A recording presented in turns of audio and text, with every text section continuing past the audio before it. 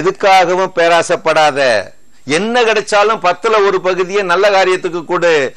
தினமும் ஒரு உசுருக்கு நல்லது செய்யு. இந்த மூணு வழியிலையும் நீ நடந்தா எல்லாமே உனக்கு கிடைக்கும்.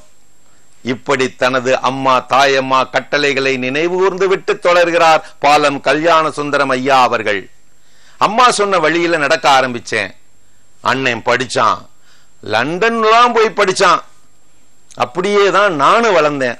என் பேருக்கு பின்னாடி முப்பத்தாறு எழுத்து வர்றது மாதிரி நானும் படிச்சேன். BA library science MA literature MA history MA GT TCT TRT TMTI FNCW TS இப்படி நிறைய படித்தேன் எல்லாத்துலேயும் தமிழகத்தில் முதல் ஆளாக தான் வெற்றி பெற்றேன். மெடல் வாங்கினேன். ஆனால் எங்கள் அம்மா சொன்னது மாதிரி இந்த படிப்புனால எனக்கு சந்தோஷம் வரலை. வாழ்க்கையில எல்லோருமே சந்தோஷமா இருக்கத்தான் அலையிறோம். ஆனா அந்த சந்தோஷம் எங்க இருக்குன்னு தெரியாம தடுமாறி அலையிறோம். இப்ப எங்க ஊரு திருநெல்வேலி. திருநெல்வேலி அல்வா சாப்பிட்டா சந்தோஷமா இருக்கு அது வயிற்றுக்குள்ள போன உடனே சந்தோஷம் போயிடுது. மல்லிகைப்பூ வாசமா இருக்கு நுகர்ந்த உடனே சந்தோஷமா இருக்கு கொஞ்ச நேரத்துல மறைஞ்சு போயிடுது.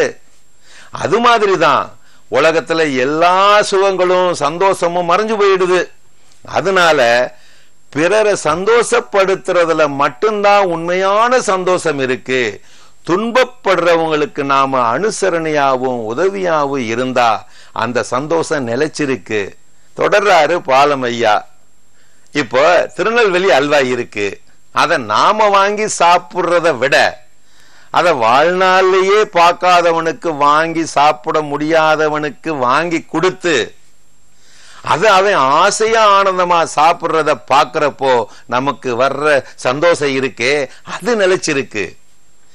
இப்படி சொல்லிக்கொண்டே வந்த பாலம் கல்யாண சுந்தரம் ஐயா அவர்கள் அம்மா தாயம்மா இப்படி அடிக்கடி சொன்னதை நினைச்சு பார்க்கிறாரு. அடே கல்யாண சுந்தரம் உலகத்துல கவலை இல்லாதவை எவன் இருக்கான்? ராசாக்களுக்கு கூட கவலை இருக்கு. ஆனா கவலையே இல்லாம இருக்கணும்னா அதுக்கு ஒரு வழி இருக்கு. அப்படின்னு அம்மா சொன்னாங்க. எப்படிமான்னு கேட்டேன். ஆயுசு முழுக்க கவலைப்பட்டுக்கிட்டே இரு.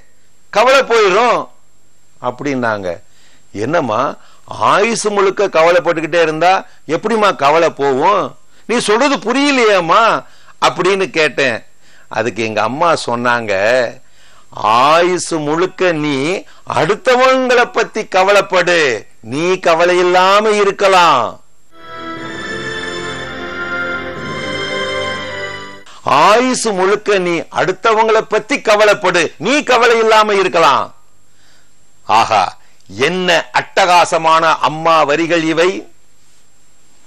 ஆம் அம்மாவின் ஆற்றுப்படுத்துதலிலே அண்ட சராசரங்களின் அன்பே அடக்கம். இந்த அம்மாக்கள் பலரது வாழ்க்கையில் பாடமாய் வருகிறார்கள். இன்னும் பலரது வாழ்க்கையில் ஆசிரியராய் வருகிறார்கள்.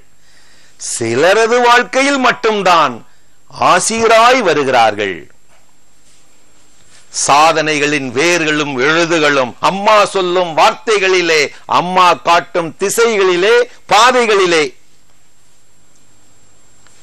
அம்மாவை அப்போதைக்கு அன்பு செய்பவன் அவளது வார்த்தைகளை எப்போதைக்கும் அனுசரிப்பான்.